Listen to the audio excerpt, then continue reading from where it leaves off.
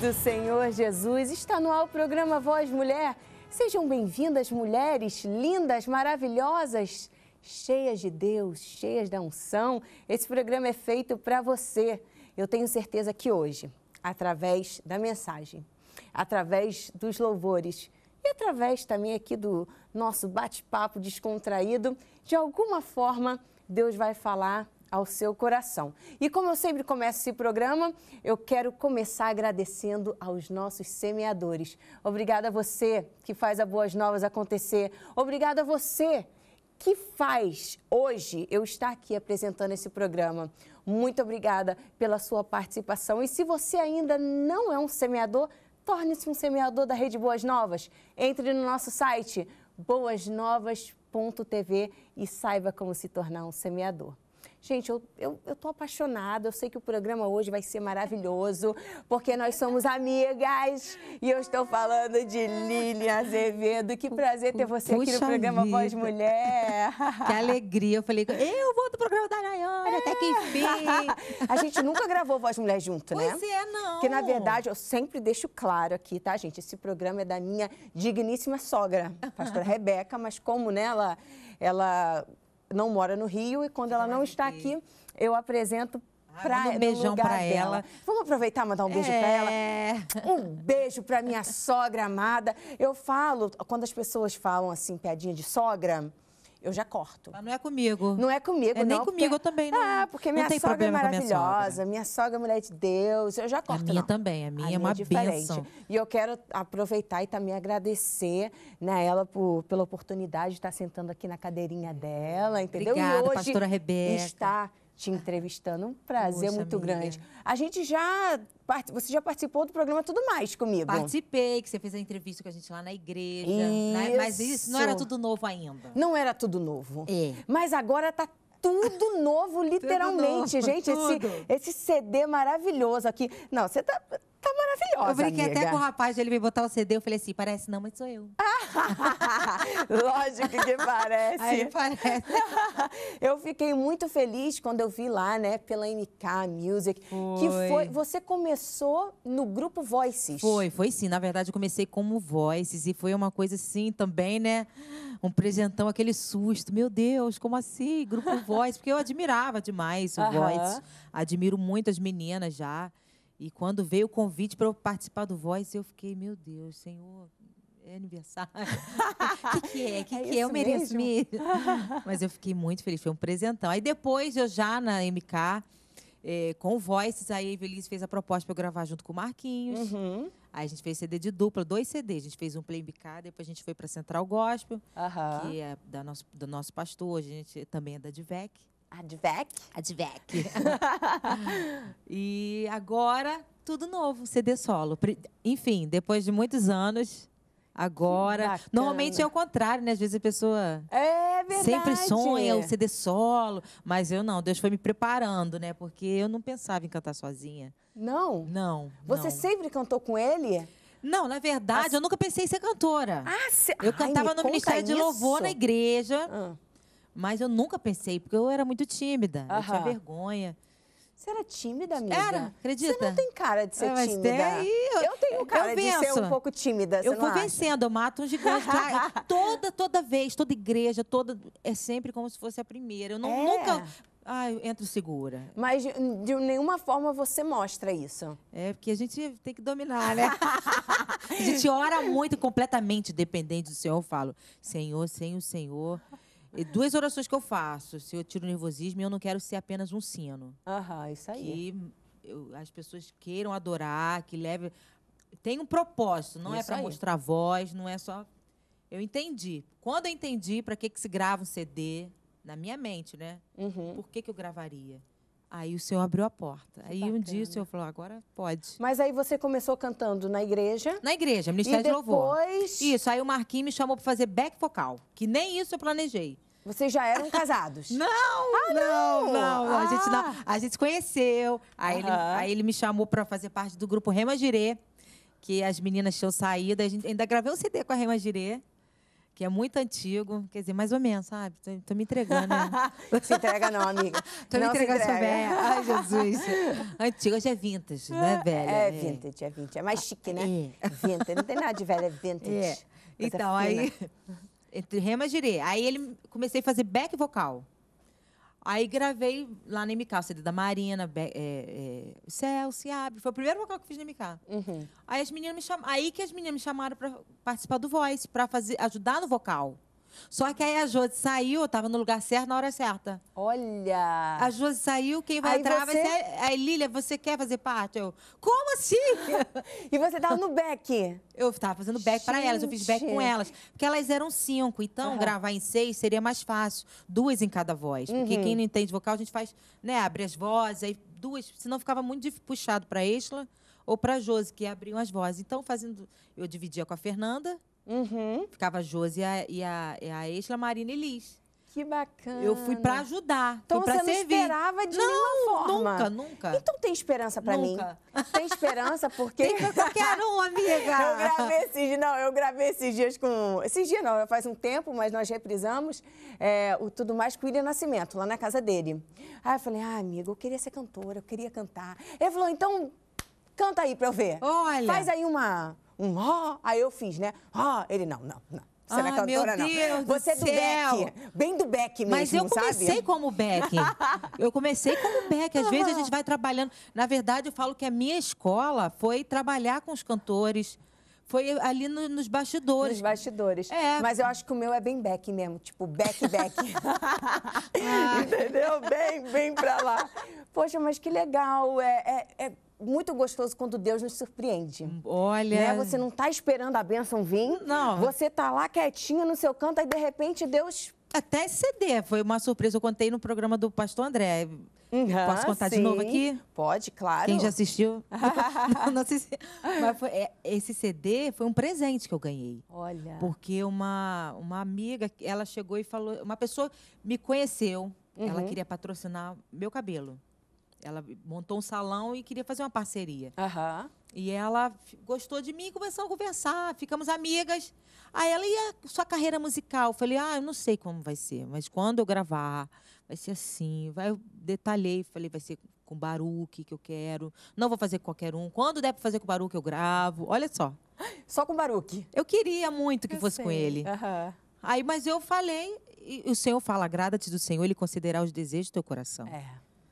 Eu pensava assim, eu falei, gente, eu não quero fazer de qualquer jeito. Eu tenho muitos amigos eu, que são feríssimos, mas o CD precisa de um produtor que, que te entenda. Uhum. Eu não queria um uhum. produtor que fizesse o que ele queria. É. Eu queria que um produtor entendesse o que eu que queria. queria entendeu? Aí. Porque às vezes acontece muito isso. Que eu tenho um produtor que é o cara, ele arrebenta, mas ele arrebenta fazendo as coisas que estão na cabeça dele. É. E bom é um produtor que decifra o que você quer. Aí vem bota. o Baruque. Aí ela falou assim: então faz o orçamento.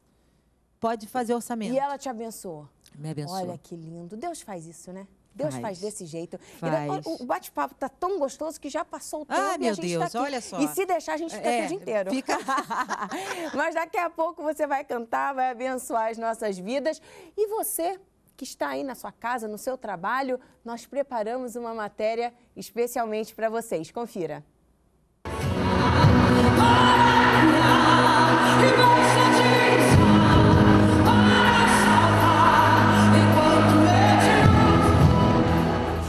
E como não se emocionar com a presença de Deus e tudo que foi visto nesse lugar? Teve até mesa de jantar no congresso, ensino trazido pela Dev Titus para mostrar quantas experiências boas podemos ter ao redor da mesa.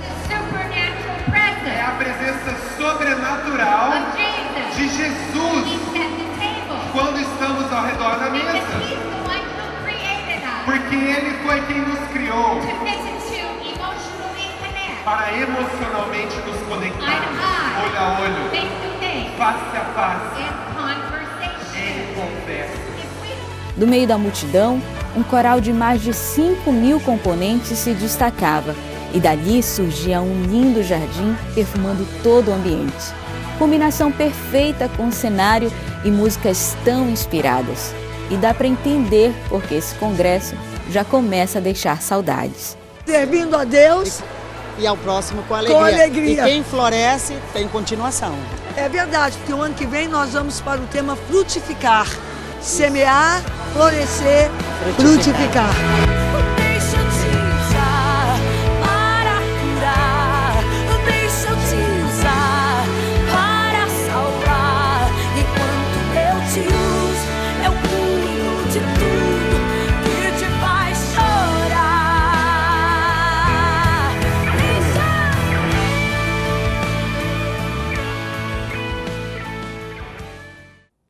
Aleluia! Deus ele está neste lugar. Sabe por que eu estou rindo, gente? Eu estou rindo porque a unção de Deus está nesse lugar. Porque quando Deus habita nas nossas vidas, a gente ri, a gente sorri, a gente é alegre, independente se a gente dormiu, se a gente não dormiu, se a gente está cansado, se a gente está feliz, se a gente está triste, a gente ri porque Deus que nos dá essa alegria. Vamos orar junto? Dá as mãos aí para sua filha, para o seu filho, chama o seu marido e vamos juntos louvar ao nosso Deus. Pai amado, Senhor, Deus de poder, obrigada, Pai, por essa oportunidade de estarmos aqui, Senhor. Que Nayane agora venha desaparecer e que o Senhor venha, ó Pai, aparecer aqui, Senhor. Isso tudo que nós estamos fazendo é para ti, Senhor. Receba toda a honra, toda a glória, todo o louvor e toda a adoração, Senhor. Aonde estiver agora, Pai, uma pessoa necessitada, onde estiver, Pai, uma pessoa enferma, onde estiver agora, Pai, uma pessoa desviada dos seus caminhos, onde estiver agora uma pessoa desesperada, Pai, eu profetizo bênção, eu profetizo vitória, eu profetizo cura, eu profetizo libertação, porque o Senhor está aqui e o Senhor nos deu, Pai, autoridade para falar no seu nome, Senhor. Eu te amo e te agradeço por tudo. Amém e amém. Você já parou para pensar hoje? que nós temos uma oportunidade única de poder falar de Deus com essa liberdade? Que nesse exato momento existem pessoas que não podem sequer citar o nome de Jesus. Neste exato momento, existem pessoas que estão debaixo de correntes, aprisionadas, estão debaixo de grandes opressões, estão debaixo de choro, de dor e de angústia, porque estão falando o nome de Jesus. Mas hoje nós estamos livres, nós temos liberdade para falar: Jesus, tu és o nosso Deus. Então, aonde você estiver agora, fala assim, abre a sua boca, olha para o céu e fala: Jesus, tu és o nosso Senhor, tu és o nosso tudo. Obrigada, Pai, por esta oportunidade de falar o seu nome. Nós vamos continuar adorando e engrandecendo ao nome do Senhor através da irmã Lilian Azevedo.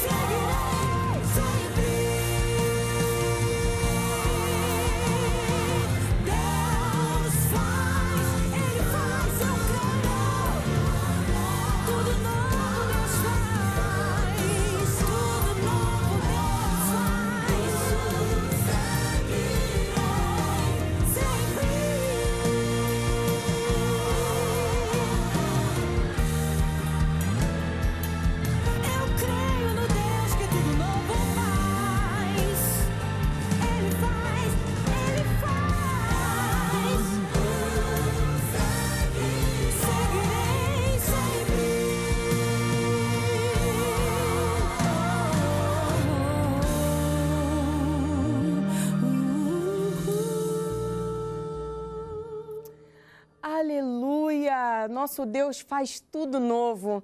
Talvez você está aí na sua casa e está falando aí para você mesmo. Está falando, olha, Naná, não tem mais jeito para mim não. Ah, Naná, olha, eu já errei muito, não tem como voltar atrás. Deus já se esqueceu de mim.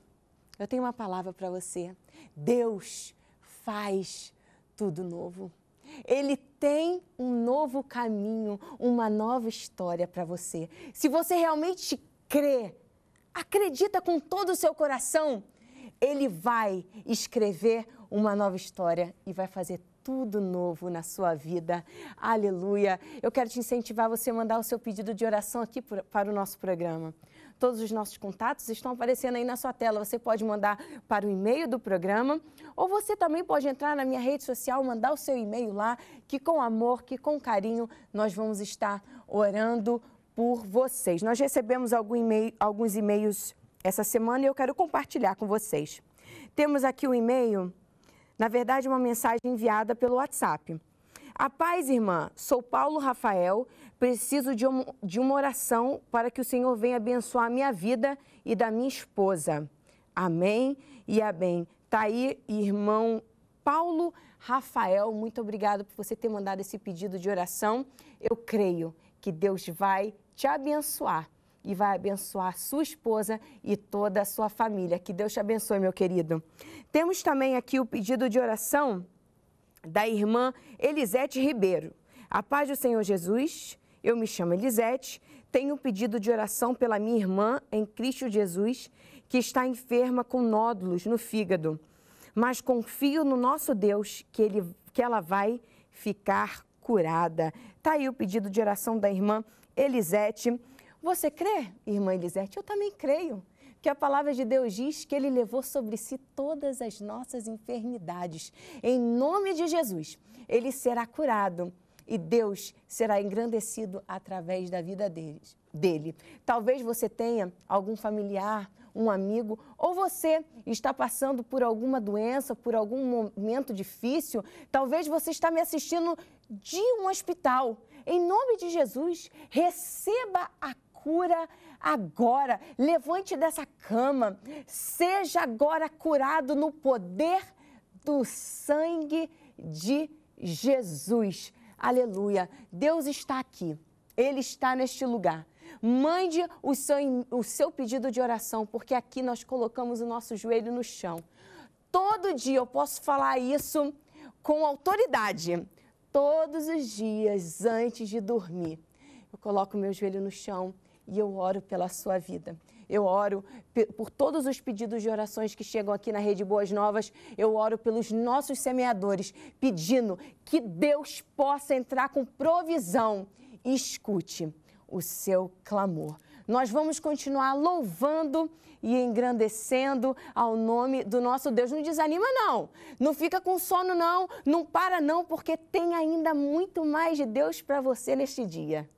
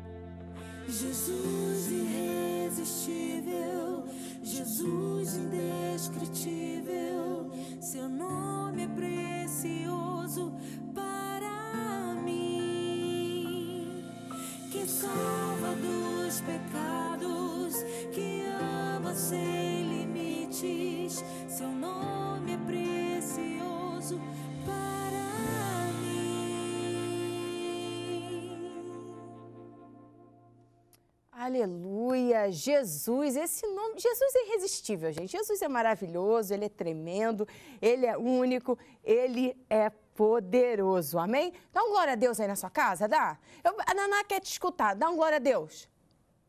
Isso, bonito, glória a Deus. Vamos juntos adorar ao nome do Senhor Jesus. Eu quero fazer um pouco diferente hoje. É, eu vou estar pregando a palavra, mas antes de começar a pregação, eu quero passar é, um vídeo para vocês. Olha só. Eu arranhei a lateral do carro do meu marido. Mas eu não irei chorar, não irei me desanimar. Mas ao invés de chorar, engoli o choro e comprei um pudim. Porque eu acho que o pudim vai me fazer melhor. No desespero, como, como você não sabe o que fazer, compre um pudim. Porque o pudim sempre vai te alegrar. Na hora de comer aquele pudim, você vai se sentir melhor. Seu marido vai brigar com você, você sabe.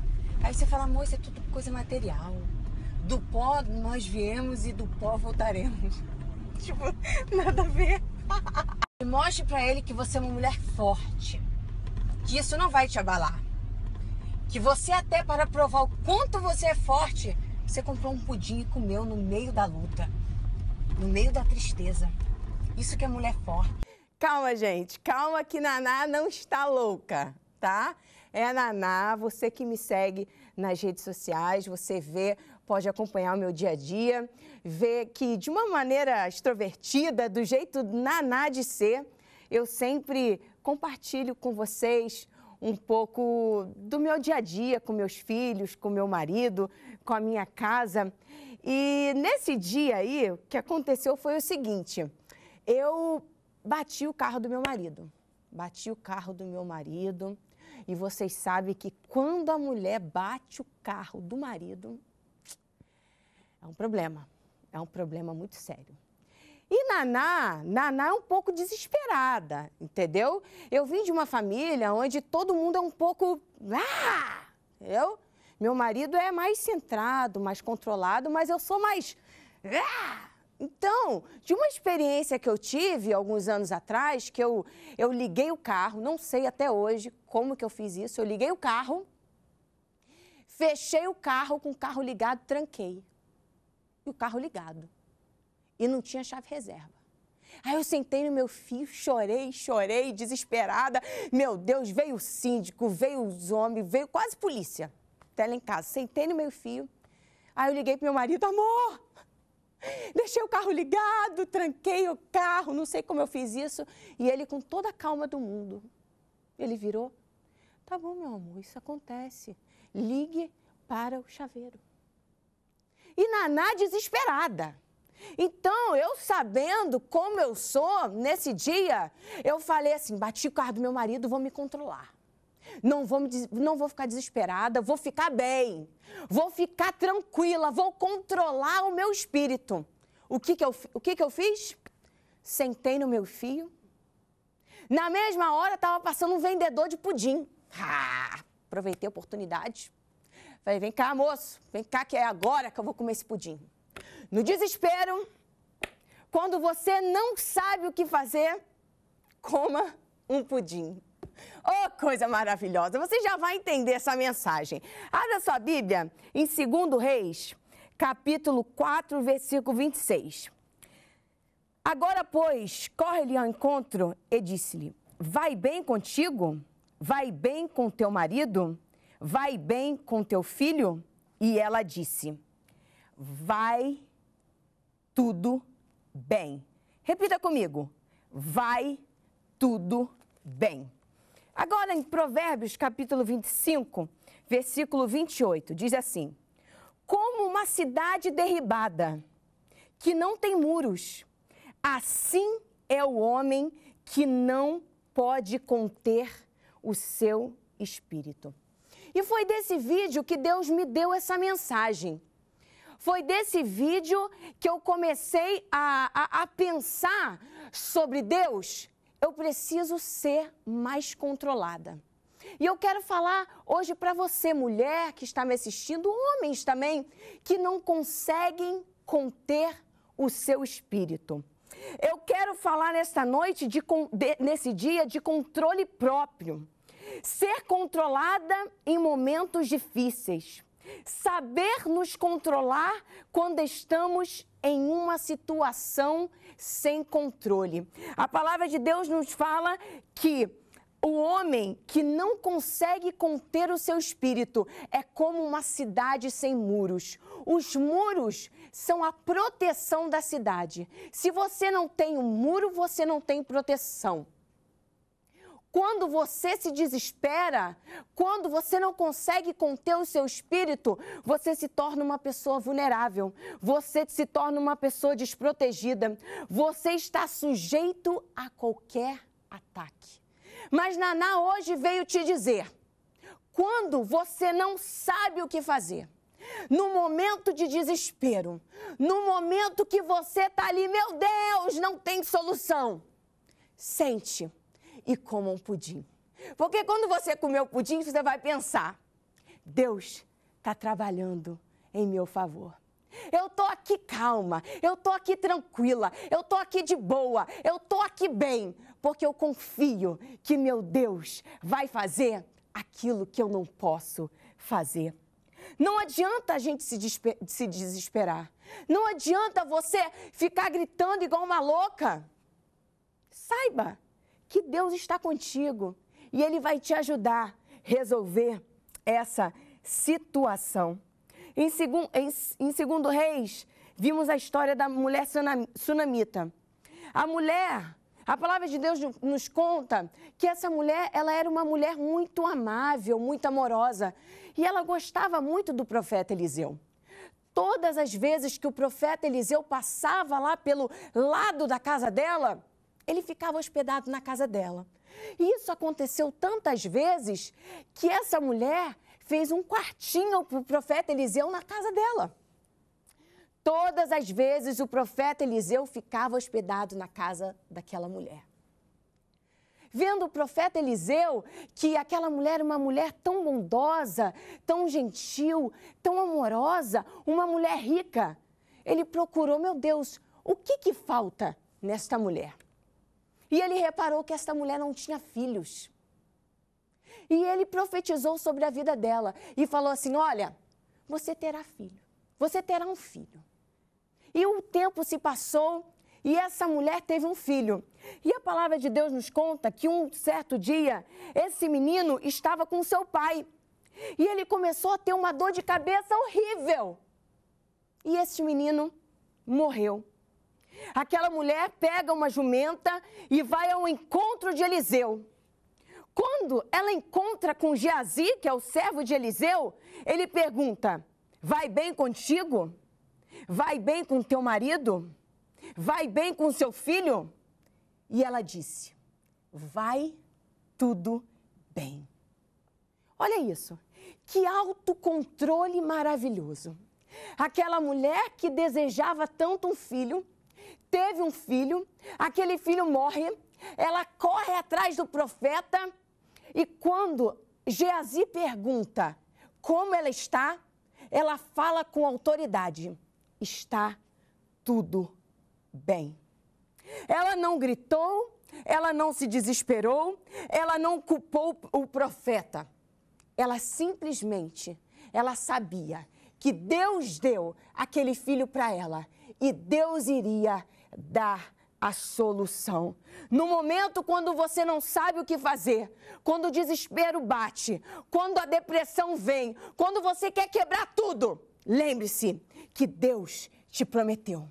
E Ele vai te ajudar a vencer e passar por essa situação. E o nome dele será glorificado através da sua vida. Eu não estou falando isso só em, em, por, por causa que o filho morreu, né, com tragédias. Não, eu estou pregando para o dia a dia. como foi é, o, o, jeito que eu sentei no meio-fio e comi um pudim e consegui controlar o meu espírito. Eu estou falando no dia a dia, com seus filhos, com seu marido, na sua casa. Não deixe o, o desespero tirar o seu controle. Não deixe o desespero te tirar da, da, da sua paz. E Deus tem falado muito sobre isso comigo, porque eu vim de uma família muito desesperada. Eu me lembro quando o André, uma vez, ele se engasgou, estava comendo tambaqui, ele ama tambaqui, amazonense.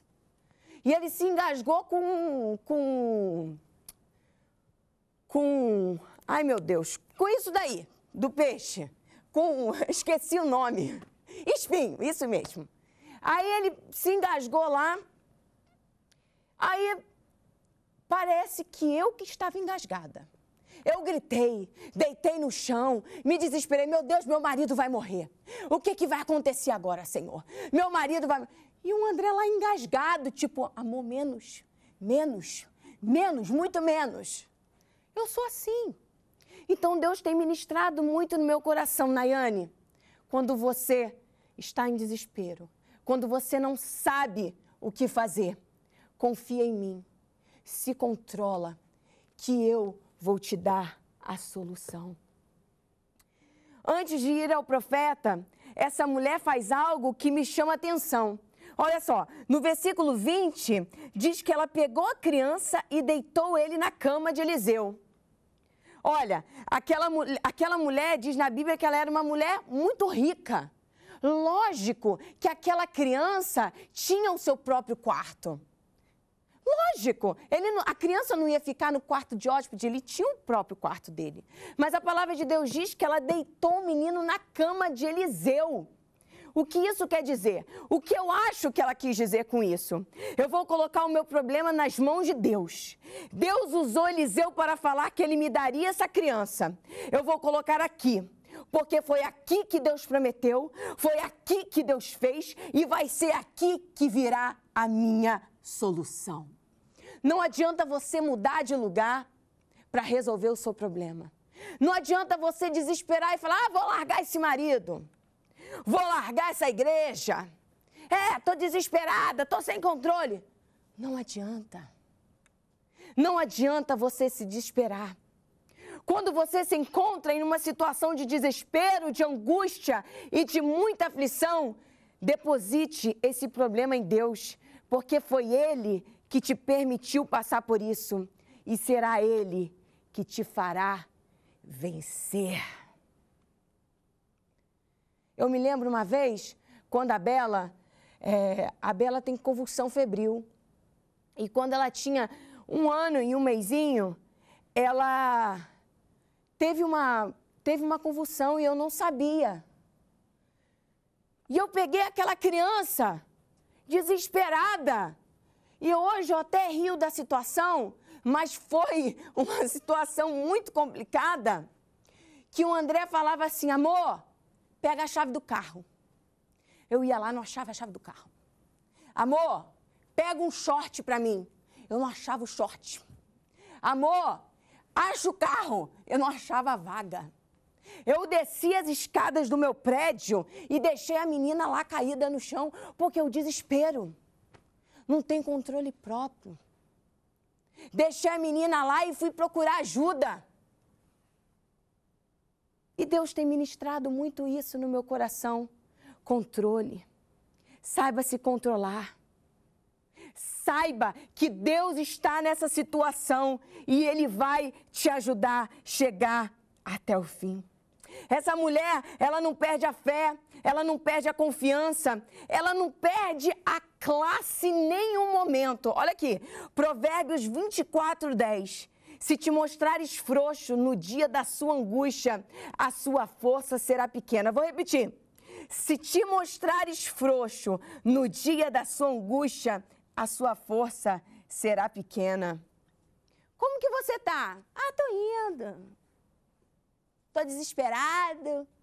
Não tô conseguindo resolver os meus problemas não estou conseguindo ver um final, tô, tô, Deus está me arrastando. Como você está? Ah, não sei não. tô querendo desistir, tô querendo abandonar tudo, tô querendo deixar tudo pro lado. Se te mostrares frouxo no dia da sua angústia, a sua força vai ser pequena. Deus quer te ver de cabeça erguida. Deus quer te ver. Tá passando por luta? Tá passando por dificuldade? Tá passando por problema? Tô bem. Sorriso no rosto. Deus está comigo. Deus está no controle. Deus vai me ajudar a passar por essa situação. Para de dar uma de vítima. Tudo você quer dramatizar. E eu estou pregando para mim também. O André esses dias chegou para mim e falou assim: amor, tu tá reclamando muito. E é verdade.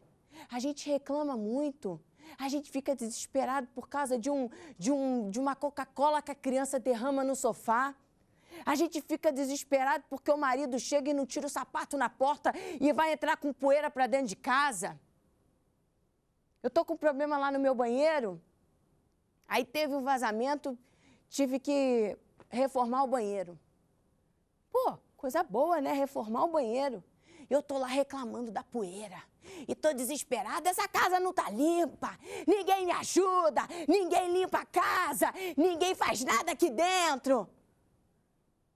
Poxa, aí o André chegou para mim e falou assim: Meu amor, nós estamos reformando o banheiro e você está reclamando da poeira. Se controle. Controle o seu espírito. Fique calma. Saiba ser grata. Saiba que Deus está no controle da sua vida. Foi muito rápido a mensagem nesse dia. Olha, não, tenho, não tive tempo de sair nem do primeiro ponto. Mas eu quero te dizer: no desespero, quando você não sabe o que fazer, quando parece que tudo está perdido, saiba que Deus é contigo. No desespero, quando você não sabe o que fazer, faça como Naná. Sente no meio-fio, como um pudim e confia no Senhor. Pai amado, Senhor, Deus de poder, como é bom saber, ó Pai, que até nesse detalhe o Senhor cuida de nós. Obrigada, Senhor, pela oportunidade, ó Pai, que o Senhor nos dá de poder nos ajudar nesses mínimos detalhes, Senhor. Eu preciso de ajuda. Eu preciso, ó Pai, que o Senhor me ajude. Eu preciso, ó Pai, controlar o meu espírito. Eu preciso ter a convicção que o Senhor está comigo e vai me ajudar a passar por essa prova sem eu entrar no desespero, Senhor. Obrigada, Pai, porque eu tenho essa confiança em Ti. Obrigada por nos ajudar. Obrigada, ó Pai, por falar aos nossos corações, Senhor. Eu não sou nada, mas Tu és tudo. Eu não tenho nada, mas tu tens tudo. Por isso, ó Pai, que todos os dias, ao acordar, eu levanto as minhas mãos e digo: Senhor, eu sou totalmente dependente de Ti. Eu preciso de Ti até nos mínimos detalhes, no dia a dia da minha vida. Muito obrigada, Senhor, e eu vou aprender a controlar o meu espírito e entregar tudo a Ti. Obrigada. Amém e amém.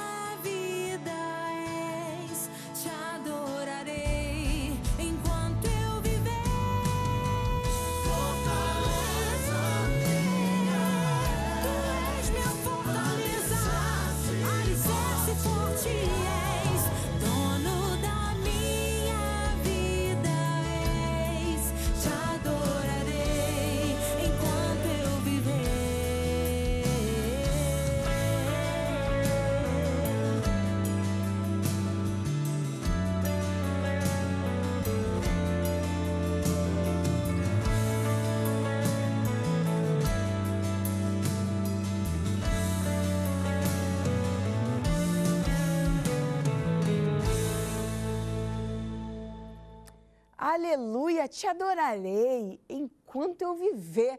Que culto maravilhoso, que presença maravilhosa.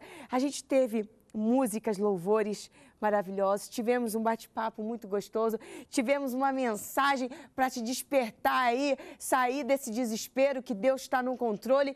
Que programa gostoso, que ambiente maravilhoso. Infelizmente o programa chegou ao fim. Lilian, eu quero te agradecer tá, por você ter participado aqui do programa Voz Mulher. Volte sempre, tá? Ah, muito obrigada a você. E vamos uma honra. marcar Vamos. para gravar o tudo mais, hein? Vamos, vamos sim. Gente, quem vai levar esse CD abençoado da Lilian é o Paulo Rafael de São Paulo. Tá aí, povo abençoado de São Paulo participando aqui do nosso programa. Um grande beijo, irmão. Muito obrigado pela sua participação. Chegamos ao fim. Um beijo da Naná e nunca se esqueça que em Cristo nós somos muito mais que vencedores. A paz do Senhor Jesus.